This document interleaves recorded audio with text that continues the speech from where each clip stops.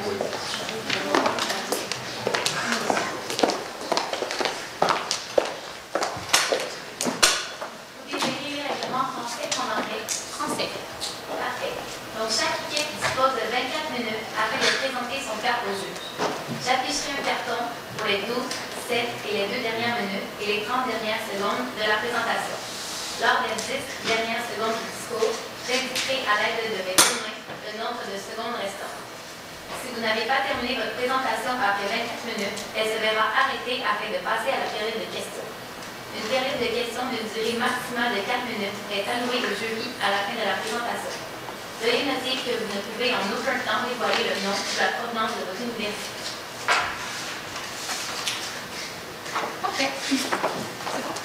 Bonjour, mesdames et messieurs. Il nous fait plaisir d'être parmi vous aujourd'hui.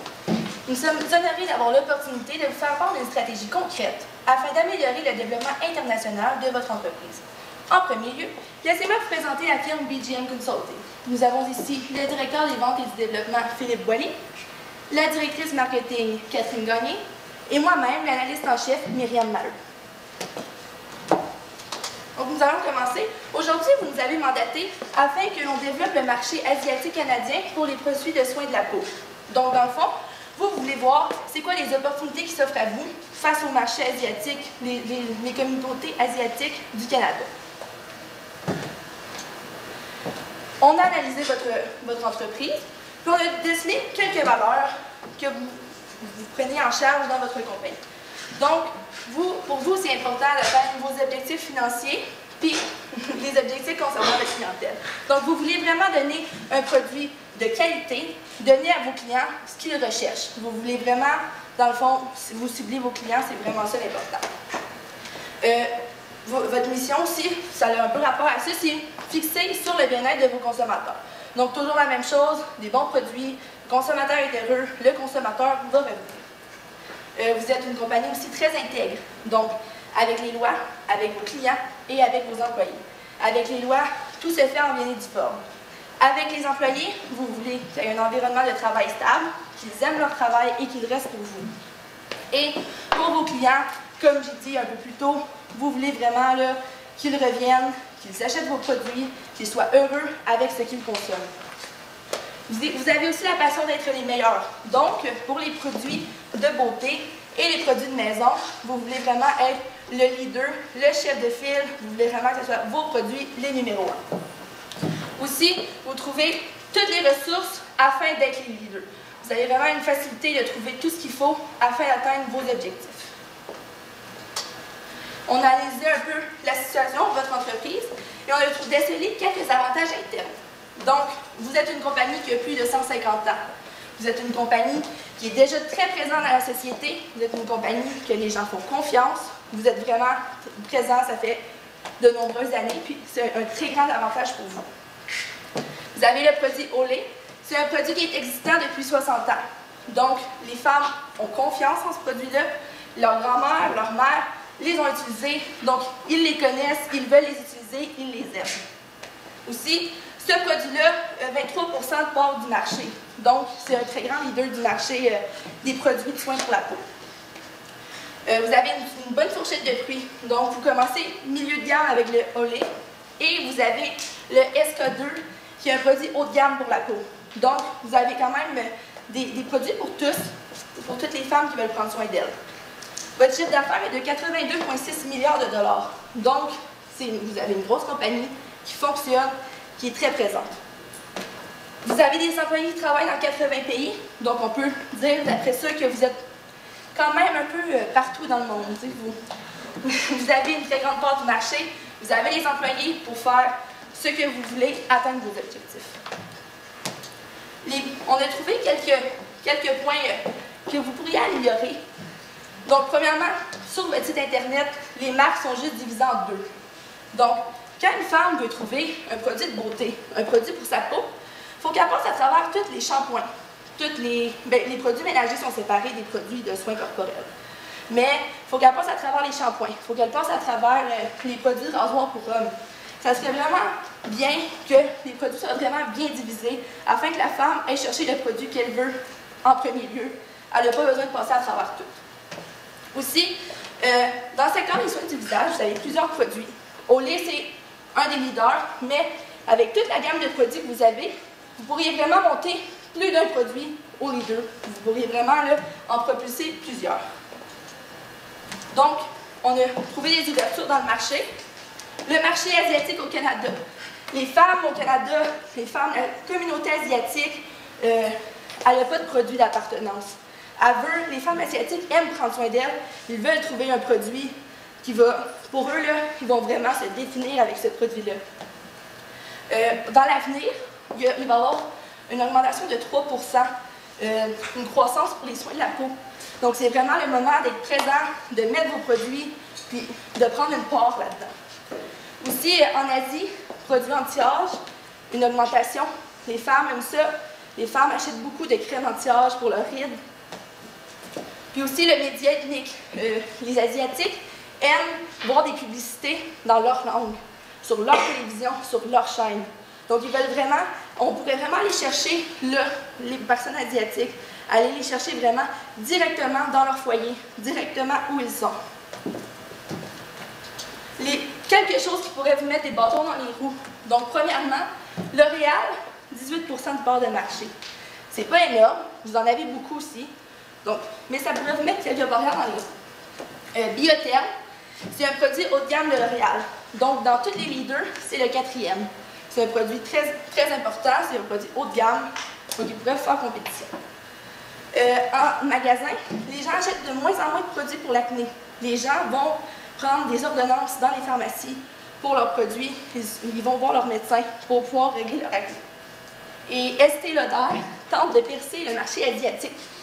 Donc, dans le fond, elle va prendre une grande part du marché asiatique, ce qui pourrait peut-être un peu vous faire mal, sauf si on compte ça euh, avec d'autres produits.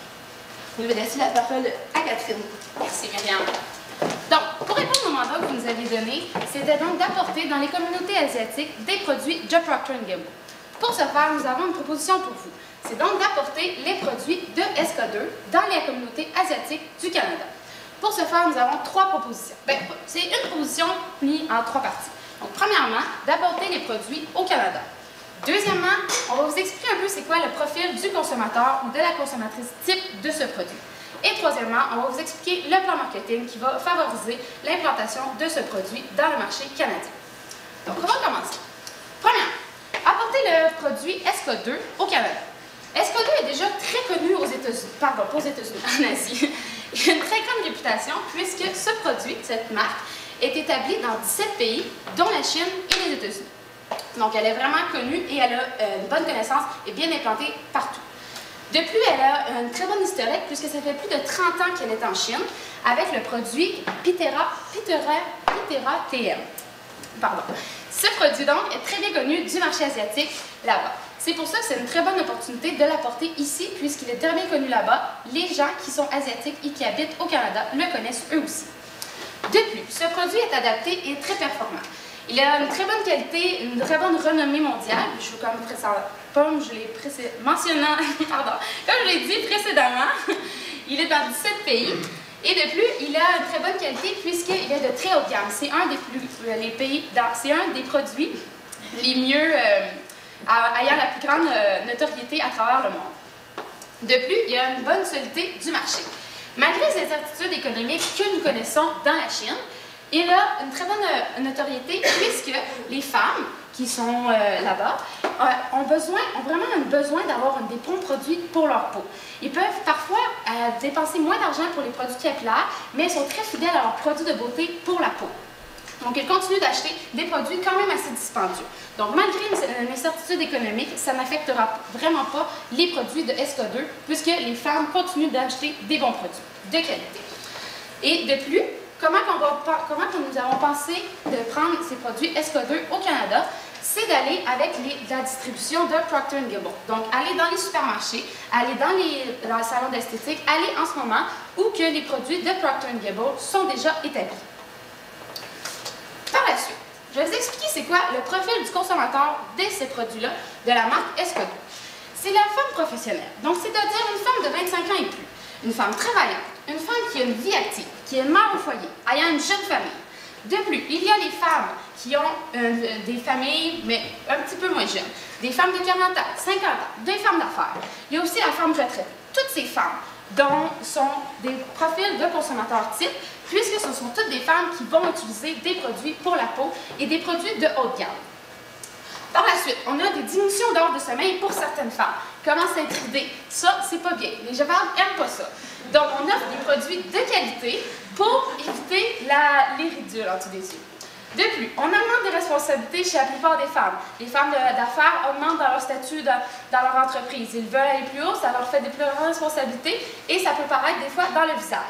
Par contre, avec les grandes pressions sociales que nous connaissons actuellement, les femmes ne veulent pas, ne veulent pas mal paraître. Ils ont vraiment un sentiment de beauté. Ils veulent paraître bien à travers, la, euh, famille, à travers leur entreprise.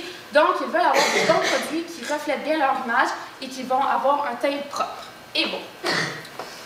Donc, par la suite, notre super plan marketing. Donc, nous avons deux lancements pour vous. Le lancement de l'asiatique, le lancement chinois et le lancement de la sud, du sud-asiatique aussi. Donc, premièrement, je vais vous parler du lancement au niveau chinois.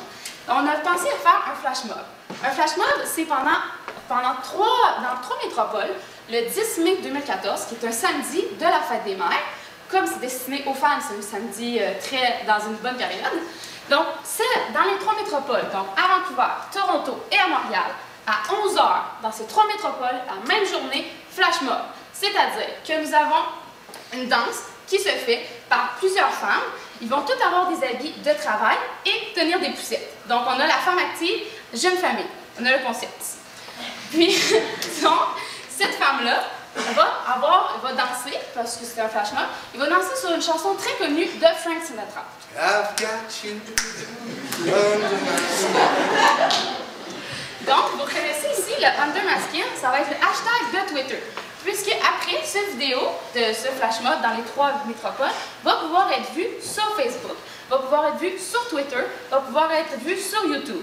Donc, les gens vont en parler. Ils vont en parler, vont, ça va être sur de grandes plateformes de médias sociaux. Donc, vous allez en entendre parler. Puisque si les gens en parlent, là, les, avoir plus de consommateurs. Donc, c'est très bien d'en entendre parler, puis ça va faire un gros boom, ça va faire euh, quelque de wow, ça va faire un punch, puis on n'a pas vu ça encore. Ensuite, la deuxième proposition, c'est le plan marketing pour le lancement de l'Asie du Sud. Donc, on vous offre la possibilité d'avoir une une personnalité connue pour faire des pubs télé. La personnalité connue que nous avons pris, c'est Frida Pinto. C'est l'actrice de Slumdog Millionnaire. Donc, c'est une actrice très bien connue du marché asiatique du Sud. Elle la représente beaucoup. Donc, ils vont avoir comme un sentiment d'appartenance en voyant cette personnalité connue dans une publicité de Procter Gamble. Donc, on, avait pensé de présenter cette publicité-là dans les chaînes télévisées de, la communauté asiatique dans les, euh, dans les marchés canadiens. Donc, on aurait cette personnalité qui ferait une danse sur, le, sur euh, la, même chorégraphie que dans Slumdog Millionnaire, mais toujours sous la chanson de Frank Sinatra. Il va pas vouloir faire cette fois-ci. Puis, euh, vous aurez, donc, encore une fois, vous allez pouvoir en parler sur Twitter avec le hashtag Undermasking. Je vais laisser la parole à Philippe maintenant. Maintenant, pour ce qui est de la mise en œuvre, on s'entend que faire un lancement d'un nouveau produit dans une nouvelle région, ça prend beaucoup de préparation. Euh, il faut commencer par aller euh, communiquer avec les détaillants qu'on fait déjà affaire, euh, ben, que vous faites déjà affaire présentement. Donc, il y a beaucoup de mise en marché qu'il faut aller faire. En plus, l'implantation d'un nouveau, produit, ça demande certaines normes internationales aussi avant de faire l'implantation. Donc, je vous ai donné un barème de 0 à 12 mois pour faire l'implantation des nouveaux produits. Ça va nous donner le temps aussi de faire la préparation pour les prochains projets comme le flash mob et le lancement publicité télévisée. Donc, c'est sûr que pour les détaillants, euh, pour la mise en marché, il va falloir préparer euh, bon, des affiches, il va falloir aller vérifier euh, à quelle hauteur les produits vont devoir se, placer en boutique directement. C'est sûr que c'est un produit de haut de gamme, il va falloir que ce soit à la hauteur des yeux, simplement parce que les produits qui sont les, plus, coûteux, c'est sûr que, les, clients doivent rentrer en contact le plus rapidement possible et le, le, plus facilement possible surtout. il faut que le logo se fasse voir, puis il faut que ça ça se jase, que ça se parle. Donc, c'est sûr que dans les cosmétiques, dans les détaillants, ce qu'on est déjà présent, euh, il va falloir aussi là, imposer notre marque. Ensuite, pour la préparation pour le flash mob, euh, je nous ai donné une période de 12 à 17 mois. Euh, c'est sûr que toute la préparation, bon, il faut commencer par monter la chorégraphie. Il euh, faut, faut, engager toutes ces, compagnies de, communication-là pour préparer ce, flash mob-là. Il faut s'assurer que tout se fasse en même temps aussi. On est conscient qu'il y a des différents fuseaux horaires. Donc oui, ça va être 11 heures heure locale ici, mais à Vancouver, ça va être une différente heure, un petit peu plus tard. Fait que ça va être en après-midi. Je pense qu'on va bien s'en sortir quand même. donc pour le flash mob, une fois qu'on commence ça, ça va être de faire la publicité, essayer de faire enflammer les réseaux sociaux avec ça. c'est sûr que utiliser aussi les presses locales, bon, on parle ici pour la, région de Montréal, la presse, Radio-Canada, ces choses-là. Donc c'est important de, faire recours à ces techniques-là. Puis le lancement de la publicité télévisée. Donc ça, ça va être vraiment le coup d'envoi final. à travers le lancement de la publicité télévisée, ben, c'est là où que nous, on va vraiment rentrer à travers la maison des, consommateurs, puisqu'on va aller faire le développement de chacune de, ces publicités-là pour vraiment aller rentrer chez les foyers des dames pour pouvoir aller justement les courtiser puis euh, s'assurer qu'ils prennent soin de leur peau parce que c'est important. Je sais que c'est important pour vous puis c'est important pour nous aussi. C'est pour ça qu'on est là aujourd'hui. Donc si on récapitule, l'implantation du produit chez les détaillants. Donc on va aller voir les commerçants, on va s'assurer que les gens ils connaissent les produits. Donc aller faire des formations en boutique, s'assurer que les vendeurs sachent de quoi ils parlent. Le produit de haut de gamme, il faut que ça se vende, il faut que ça se dise qu'est-ce qu'on vend, c'est quoi le produit, qu'est-ce que c'est, c'est quoi les bienfaits. Euh, ensuite, bon, le flash mob, ça c'est un coup d'éclat, c'est un peu pour nous faire connaître, puis finalement, euh, le lancement de la publicité télévisée. Euh, question par rapport à l'implantation des produits chez les détaillants, dans quel genre de détaillants est-ce que vous voyez est-ce peut être en vente? ben, c'est sûr que dans les boutiques d'esthétique, ça serait à l'extrême. Euh, mais je pense que quand même au niveau des pharmacies, euh, où ce que les produits comme, euh, bon, on regarde Vichy, Biotherme, toutes ces choses-là, je pense qu'avec les, les, vendeurs à commission, un petit peu comme dans les pharmacies, ou encore, bon, chez Walmart, Walmart, c'est bon d'aller se placer un petit peu partout. Walmart a vraiment de A à Z, là, je ne sais pas si... Donc, en, utilisant toutes les gammes de détaillants, c'est sûr qu'il faut qu'on soit le plus accessible possible, sans nécessairement descendre l'image de la marque. Mais je pense quand même qu'à travers euh, les pharmacies Walmart, puis euh, certains bureaux d'esthéticiens euh, plus, plus, spécifiques, maintenant, pour ce qui est de... On va parler d'argent, parce que c'est toujours une question d'argent à travers ça. donc, le flash mob. C'est sûr c'est beaucoup de dépenses à préparer. Euh, selon nos recherches, on a évalué que le coût d'un flash mob, c'est environ 100 50 euros par personne, euh, plus des frais fixes, donc euh, en canadien. disons, si on y va avec une, troupe d'environ 75 à 125 personnes, évaluée par ville environ 10 000, juste pour les figurants, avec des frais fixes qui pourraient monter jusqu'à 50 000 bon, pour le filmer, faire le développement, vraiment faire la publicité, tout ça, donc préparer vraiment le concept pour s'assurer que tout soit hors pair. Euh, ensuite, pour la publicité des chaînes spécialisées, euh, simplement parce que c'est des, publicités de chaînes spécialisées, souvent euh, le, temps d'antenne coûte un petit peu moins cher que ça coûterait avec les grosses chaînes. Je ne dis pas de ne pas utiliser les grosses chaînes, parce que vu que c'est une popularité connue, on va pouvoir probablement trans, vers les chaînes un petit peu plus connues, dépendant de l'impact que ça va avoir. Mais en utilisant la publicité des chaînes spécialisées, on peut se restreindre à un, budget un petit peu plus modeste à 65 000 pour la production et les coûts de, de publication. Bien sûr, euh, le plus gros coût qu'il va avoir, ça va être le coût de la porte-parole euh, pour euh, notre chère dame qui jouait dans Slumdog Millionaire, qu'il va falloir bien sûr lui graisser les pattes pour qu'elle puisse se badigeonner de notre beau produit qui va lui aider à rester belle et jeune et en santé. donc, c'est sûr qu'il y a beaucoup de sous à aller investir. Donc, quels, seront les, rapports qui vont nous revenir avec ça? En regardant la grosseur de votre marché, euh, sans compter aussi l'influence que ça va avoir au niveau des marchés asiatiques éventuels.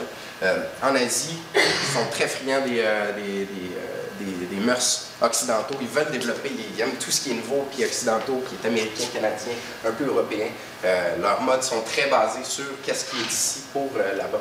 Donc, c'est sûr qu'à long terme, ils veulent un produit qui est vrai. Donc, en leur offrant quelque chose qui est tendance, mais qui est vrai en même temps, je pense qu'on va frapper deux cordes d'un coup. Puis on va aider aussi euh, deux, deux, oiseaux avec une pierre plutôt. Donc, euh, avec ça, on va pouvoir, on va pouvoir euh, bien, bien aller implanter le produit pour, pour faire le développement. Donc, un flash mob, une vedette, une femme travaillante, puis un beau petit vidéo de danse Je pense que c'est euh, où est-ce que Porter, Gamble doit s'en aller avec le, nouveau produit de SK2. Euh, un nouveau produit qui a besoin d'être dans les marchés canadiens, euh, qui va nous permettre de, rester, qui va vous permettre pardon, de rester en tête de file pour ce qui est de tout ce qui est, tout ce qui est des produits de soins cosmétiques et surtout les soins de la peau. C'est un produit de très grande qualité. Je pense qu'avec tous ces, ces, avantages-là, puis avec tout ce qu'on a décelé aujourd'hui, on va être capable de bien illustrer là, euh, votre, votre dominance au niveau du marché. Donc moi, ça concluait euh, ce, que, ce que nous voulions vous présenter. Je vous remercie beaucoup. On est maintenant prêt pour la période de questions. Merci beaucoup.